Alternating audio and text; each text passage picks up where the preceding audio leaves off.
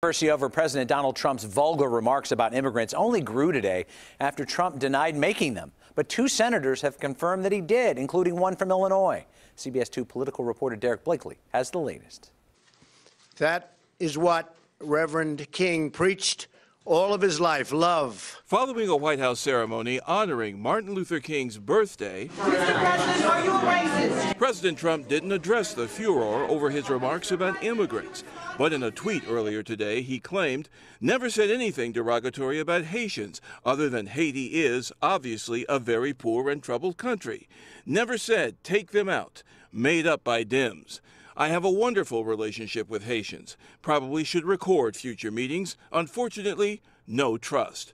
But Democratic Senator Dick Durbin insists he heard it all with his own ears. Haitians, he said. We don't need more Haitians. Then, says Durbin, Trump disparaged African immigrants. That's when he used those sickening, heartbreaking remarks saying those will send us the people that they don't want.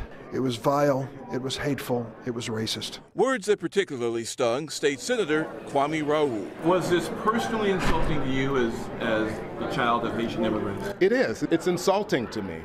It's insulting to me as somebody who was raised in Chicago, a city that was first settled upon by a Haitian man. It's insulting to me, and it should be insulting to all Chicagoans. Insulting as well to DACA students who could be deported without a congressional deal. He's offending pretty much every immigrant that's coming from other countries into the United States.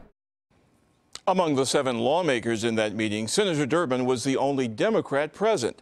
Durbin said he hoped Republicans would confirm that Trump made the remarks. So far, only one has South Carolina Senator Lindsey Graham.